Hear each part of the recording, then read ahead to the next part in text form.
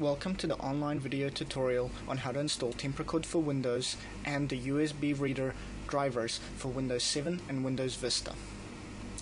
My name is Luca Bartolets and I am the Research and Development Engineer at Temprecord International Limited. To install the USB reader, you will need a spare USB port on your computer, but do not plug in the reader just yet. First, we need to install the software and the drivers. Right, let's get started. So I have a fresh install of Windows 7 here. Uh, Windows Vista is very similar and um, I've already downloaded the latest version of TRW or Temprecord for Windows onto the desktop here. Um, now you may find your version on the CD or alternatively you can always go online to www.temprecord.com find our software page and download the latest version from the website. Uh, if the CD that you have is quite old, I recommend checking on the website for the latest version. Once you have downloaded, it it may become in a zip file and you may need to extract the zip file, but in our case, I've already extracted it here, so I can just double click on this to start the installation. Um, this is just a Windows security prompt. It's basically saying that TRW setup is trying to access our hard drive. Because we do wish to install this application, we click yes to proceed.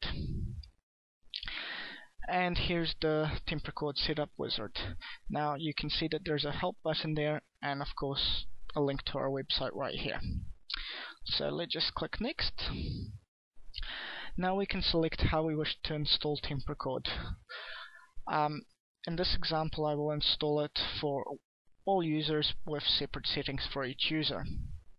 In your case you might want to install it just for your user account or you might want to install it for all users with shared settings. This is particularly good if you're the administrator and you don't maybe want the users fiddling around with any changes. You can also install it for remote users as the last option explains. So we can just click next. This is the install location where Temprecord for Windows will be installed to. I suggest keeping this default so that when we come to assist you if you have any problems, it's very easy for us to tell you where to navigate to. If you do change this, you'll have to take note of it if something goes wrong when you contact us. Uh, setup will create a start folder in the start menu. Uh, this basically indicates one of these folders here. Um, in this case, I will create a start folder, but if you don't wish to create a start folder, just check this box here. We also have an option to create a desktop icon and a quick launch icon. Now in Windows 7 and in Windows Vista, this does nothing. It's mainly there for Windows XP users who still have a quick launch tray on their taskbar. So I don't need to create that, but I will create a desktop icon in this instance. We can click next. Now, an important thing to note here is that we've got this existing settings import. Now if TRW is already installed on your machine, it will actually pick up your old settings and apply them to the new version, so you won't have to reset all your settings to your default values. It will actually remember them. And again, we've got all the other options we selected during the installation. Right, we're ready to install, so we just click on install, and off it goes and does its thing. Now here's the important thing. To install the drivers, you have on these pop-up boxes you have to push install this driver software anyway. Um, not doing so will cause serious problems when installing the drivers and you will probably have to go and install them manually which is a huge hassle. So for your own ease of use, click install this driver software anyway and there's one more of these boxes that pops up in just a few moments. And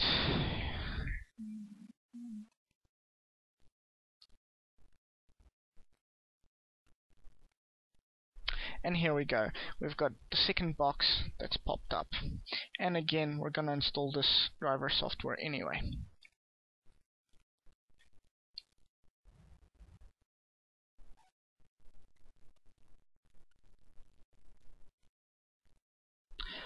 Okay, Temprecord's finished installing and you can see that here we've got some release notes. These release notes can also be found in the README file.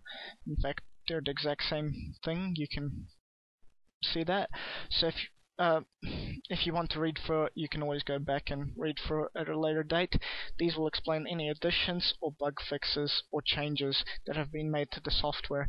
So it's sometimes useful to have a read through it, especially if you're upgrading from an older version. And we can click next.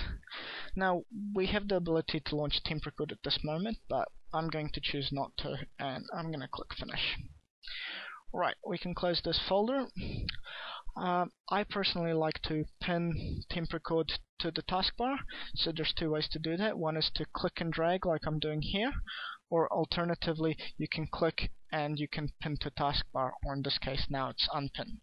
We can also pin to start menu, which will pin it in this list of programs here. We can see that Temprecord has created a start menu folder and here we can see the readme file, the help file and the user's manual. The user's manual is quite good if you have any trouble and you can easily look up anything you need to see including how to use the toolbars, how to move things around and whatnot.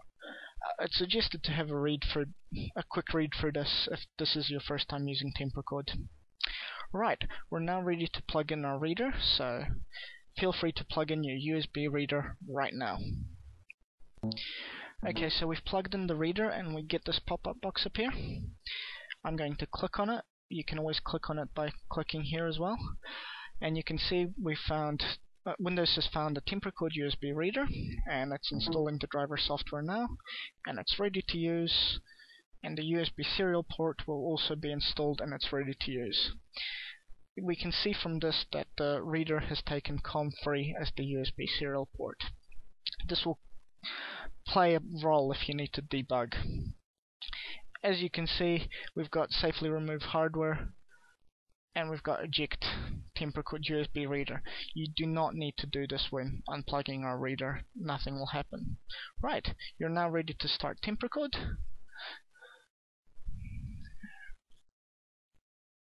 And we see the splash screen.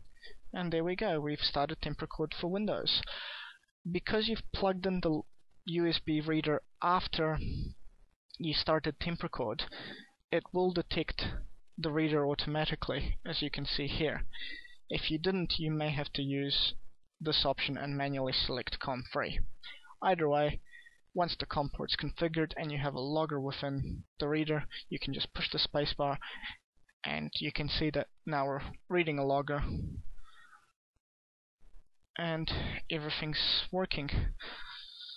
So congratulations, you've just successfully installed Temprecord for Windows on your Windows 7 or Windows Vista machine. If you have any problems, please don't hesitate to contact us by either visiting our website at www.temprecord.com or sending us an email at info at. Thank you very much for watching.